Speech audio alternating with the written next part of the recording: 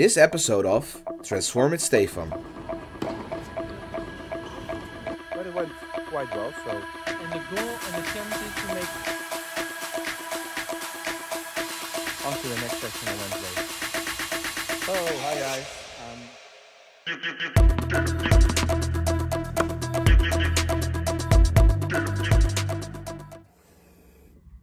I'm injured. As you saw in the previous video, I've injured my wrist and they told me it was an inflammation. It's still the case that my wrist is still not good and I'm, I'm not able to play. ja, het is laten we zeggen, de zijkant van de pin. En eh, op de echo zie je ook laten we zeggen, dat er vocht zit en ja, dat het laten we zeggen, ontstoken is. That has a lot of impact on my mental health. I really like playing tennis, of course, and now I cannot do the thing that I love the most. So the couple of yeah last two months are yeah not the best. Dus ja, nu even kijken hoe we daarmee omgaan. Ik heb oefeningen gehad van de fysio. En dan moet ik dat eh, twee keer per dag doen. Uh, I made some real good progression in the as you can saw, see in the last video. I'm really happy how it went, but now yeah I need to work on that. Uh, I'm not be able to tennis, so it's it's tough, but I will be getting back on the court soon. I hope. Uh, I'm doing everything in my power to to get fit again.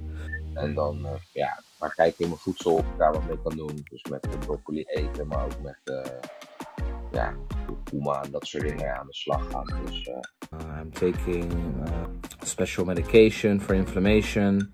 So yeah, there will always be bumps in the road. This will be mine, and I will be back stronger. Uh, so this episode will be about how is my injury going, uh, what can you do to still get fitter.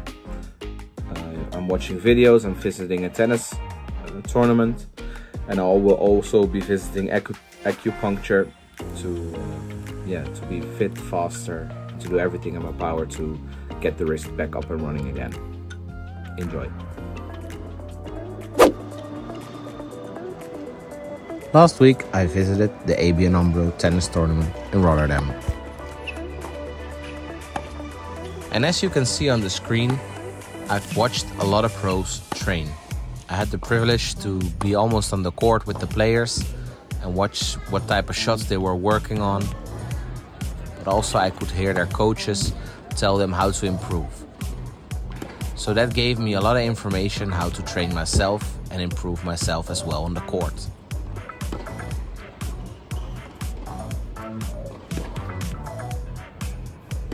I was also watching my food, eating healthy and trying to stay in shape, even though it was a really busy week but I also was set a challenge to complete that week. Yo Stefan, it's time for a new challenge. We're currently in Australia on a hike and we thought what's better for your mental and physical health than going on a hike. While walking you make a lot of steps and you clear your mind and the goal and the challenge is to make 10,000 steps each day. Yeah, it's because it will make you feel better. So good luck with our new challenge and we'll see your posts on Instagram. good morning, everybody. Uh, I'm still injured in my, on my wrist.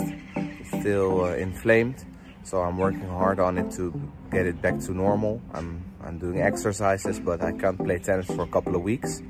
So now I'm gonna do a run today. So uh, let's go after it because you can still train if you are injured. First session done with uh, with the running. I felt really, yeah, really good. I was, uh, yeah, well, I was not that fast, but felt okay. I was not that much out of breath. The only thing is that I need to be careful with my knee, so I need to run a steady pace and not too, not too bumpy of roads or something else. So, but it went quite well. So, on to the next session on Wednesday. As you can see, I'm still running. But wait, running, is that the best exercise for a tennis player? To be honest, I don't think it is. And in the progression program, we share a lot of tennis specific exercises and workouts so you can become a better tennis athlete.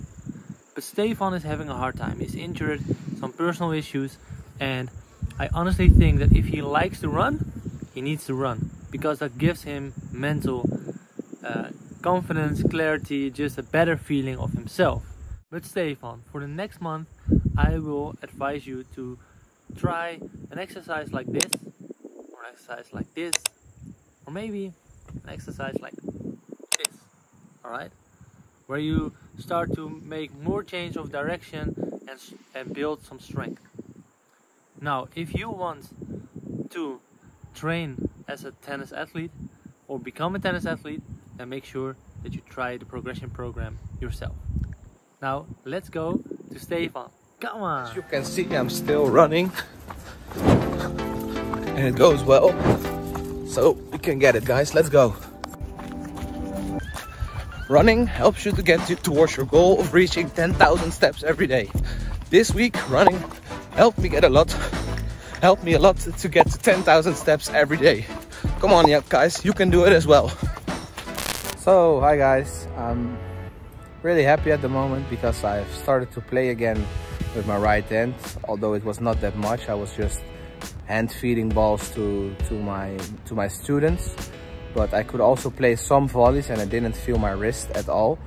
So I'm really happy and all, and after that I played uh, a little bit of balls myself from the from the service line. So I'm starting to get better slowly. Uh, and for now I go to acupuncture. So I'm slowly making some progression and that's really good for my mental health because I was I was pretty done with it that I could not play yeah, the game that I love the most. So I have good hopes for for next month that I maybe can resume training again, uh, maybe from the from the service line or with softer balls. But I'm happy to be back on the court again. So let's get it.